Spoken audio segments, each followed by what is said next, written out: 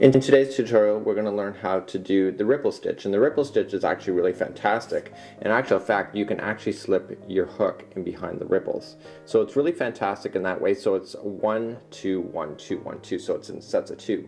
Now this example, I know I'm going to get email on it. What kind of string was this? This is the James C. Brett Marble Chunky line. This stuff is not cheap but it is fantastic. It takes a long time to transition between colors, giving it a really huge effect. When you compare this Bernat Soft Chunky, you can see that the colors are changing so frequently that it's pretty obvious. So this one has a really nice slow transition and knits and crochets like a dream. I love, love, love this stuff. So let's get started on doing Before I forget, stitch. I should tell you that there is a problem with this stitch here. And the problem is, is that the corners like to uh, bend up and into the middle. It's pinned down right now so it's holding it flat.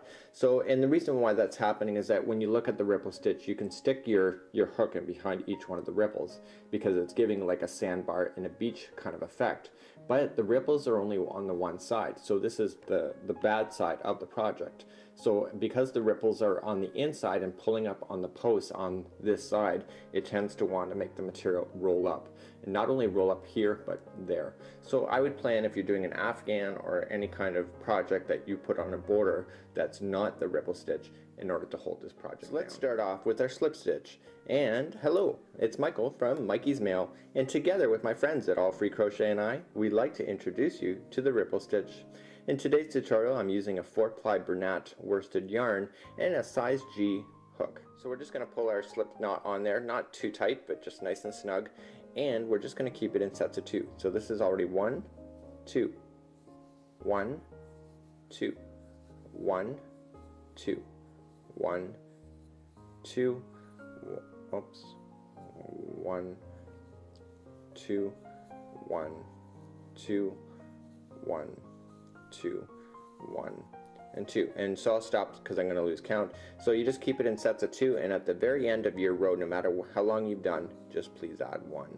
So there we go. So that is your first starting line. So what we're going to do now is that we're going to do our double crochet. We're going to do a double crochet all the way back across this line. So holding your index finger and your thumb onto the stitch just right below the loop, what I want you to do is count three. So chain up three. So one, two, and 3. So now using where your finger was holding, that is identifying where that stitch is for your very first stitch. So just wrapping the material around, going in to the stitch on the line, pulling it through, pull through 2 and 2. And let's review that one more time. So wrapping the material, going to the next stitch on the line, pulling it through, pull through 2 and 2. So just continue to do that throughout this line and we'll meet you back up at the end and we'll carry on with our next part. So time is fast forwarded and now we're at the end of the line. So all we need just need to do now is just turn your material. So turn it around.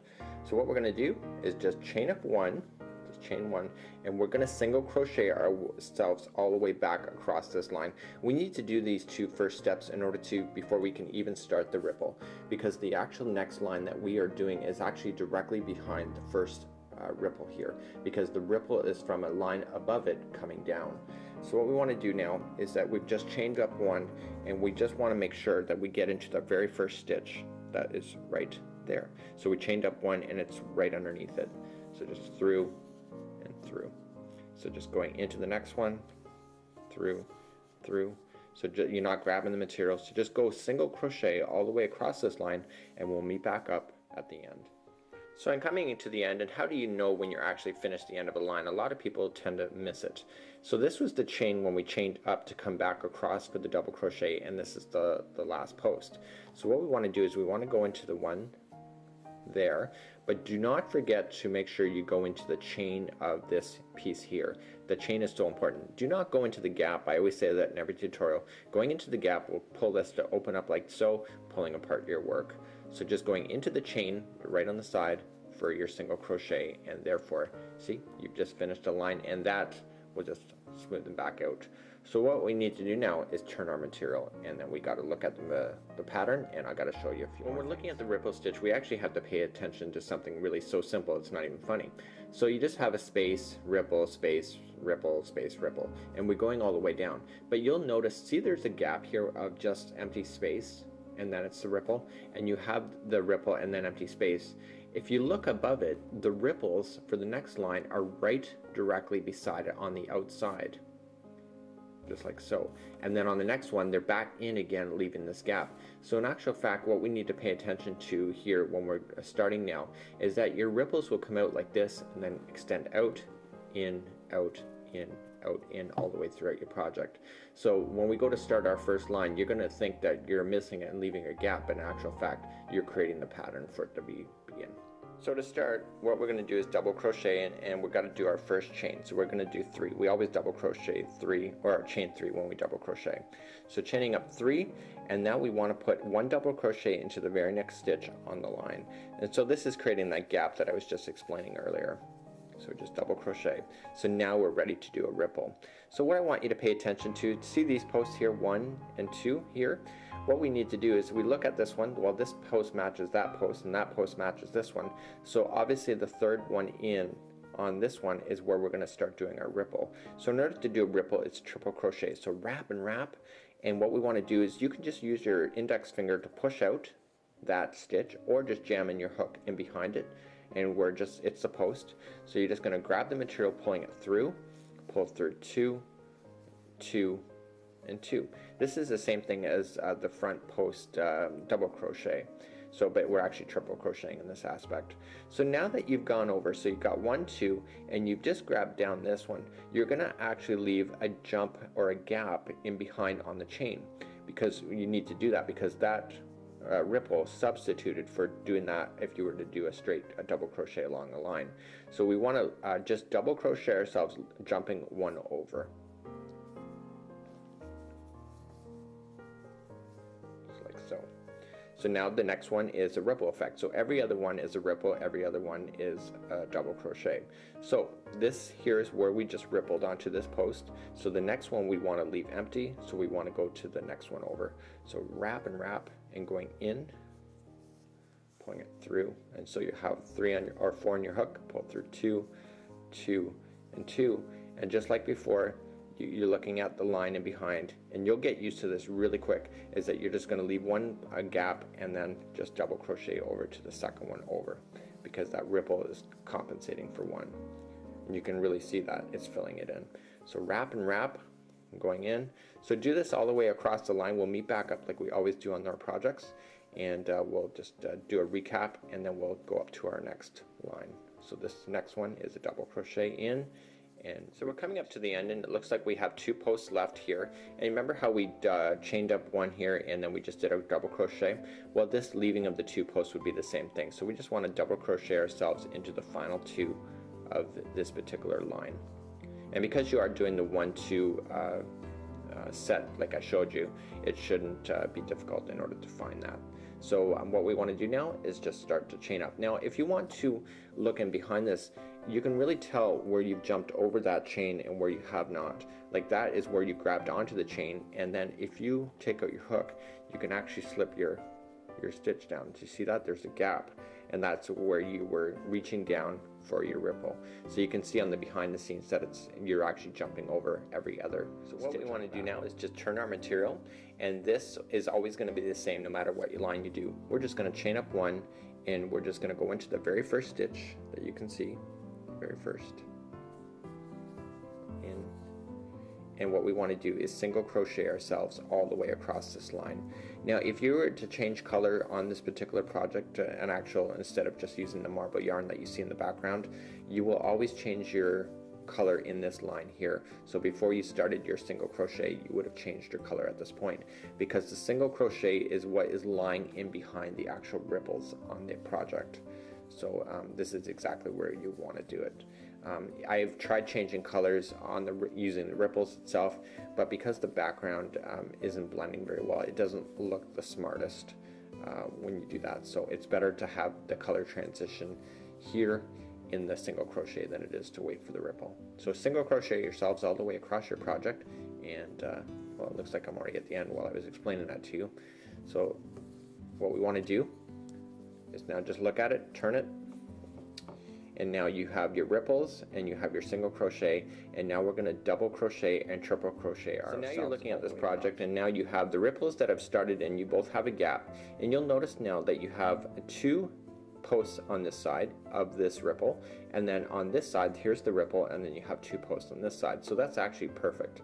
So what we're going to do now is that we're going to chain our do our rippling but we're actually going to ripple now onto the double crochet uh, post that you found. So this is the triple. And so basically what you're going to be doing is you're going to be chaining up. So let's begin. So you're going to chain up three. So one, two, and three. So that counts as a double crochet. And so now you're going to reach down and grab this post. Now this post is the double crochet and then you had your layer of single crochet. So we're going to wrap and wrap and triple crochet ourselves into that first post.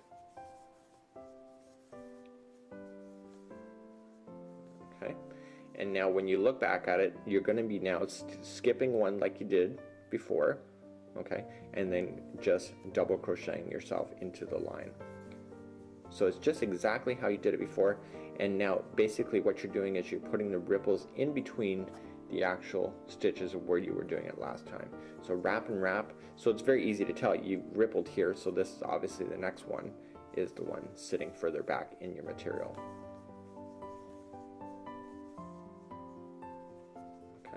So then you look at the line, skip one, and just double crochet ourselves. And again, that actually becomes really easy to look at. And now you can already start seeing the material starting to bend up. So um, really do carefully think about um, putting a pattern or a border around your, um, your crochet project in order to keep the edges from folding up on you. Um, I found that with the scarf that I've done as well. Um, I didn't realize that this pattern would do that. So it's kind of disappointing when you do a scarf and um, you see it's rolling up like a scroll. So continue along that and we'll get back started on the next line and basically we're just now repeating everything that you've already done. so learned. now you're coming up to the end of this project so you can see where you've left your two gap like I talked about already over here and so basically when you're coming back across this line you want to make sure that you go to the second last post before the end of your project so that your ripple is after this bottom one here. So you see So I guess one line you're going to leave a, a, nice little gap in between and then this line that you would will repeat eventually again.